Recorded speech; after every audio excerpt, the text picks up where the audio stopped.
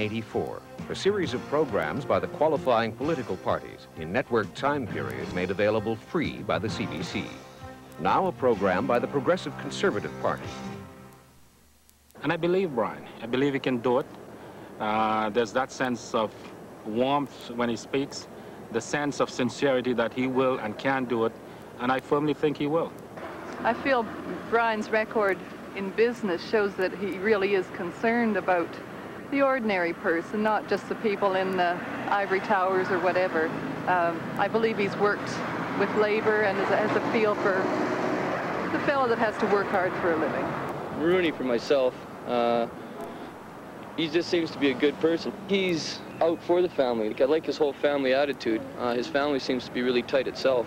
And uh, in whole, he's a good family man, which we need here because uh, Canada is basically all family. There's a lot of young people trying to, to make it, so I figure that Mulroney can understand this. Mr. Mulroney is a family man, understands family problems, and uh, is oriented to the type of person that lives in Canada today. I think he's a very positive person, and we need to be positive now. And I, I just have a lot of faith in Brian that he's going to uh, put Canada back where it should be. When I was young in Baie-Comeau, there were two qualities more than any others that I always associated with Canada. One was opportunity, and the other was civility. If you wanted to work, you could always get a job. And there was a sense of tolerance among citizens in Canada.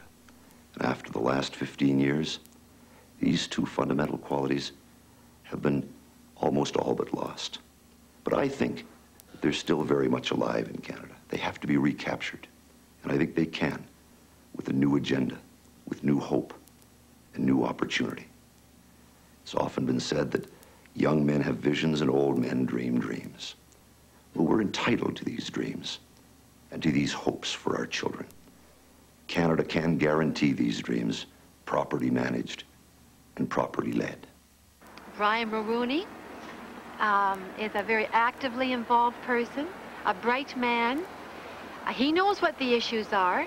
He knows the country cannot continue on the way it has been.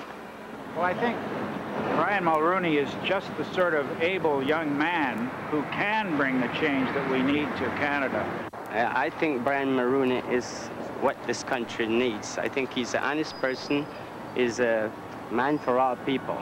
Brian Mulroney is a man who has had responsibility. He's been an executive officer. He's dealt with the realities of the economy. He's worked with people.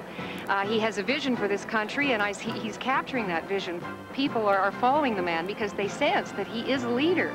And what has happened under the Liberal government is that productivity and effort and sacrifice made by farmers and fishermen and small businessmen and ordinary workers, that they have been penalizing that extra effort. They've been telling people that it no longer pays in this country to make commitment and to make sacrifice.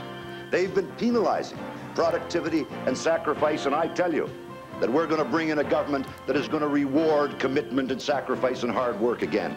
And I think that if we remember the fundamentals, if we respect the traditions of the small towns and the big hearts that made this country what it is today, I tell you that we're going out with your blessing, and your encouragement, and your good counsel.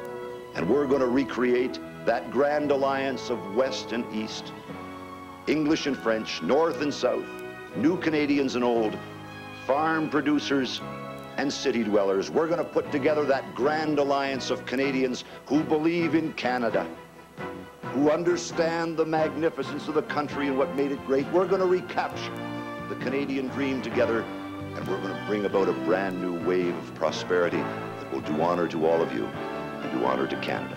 Thank you for having us.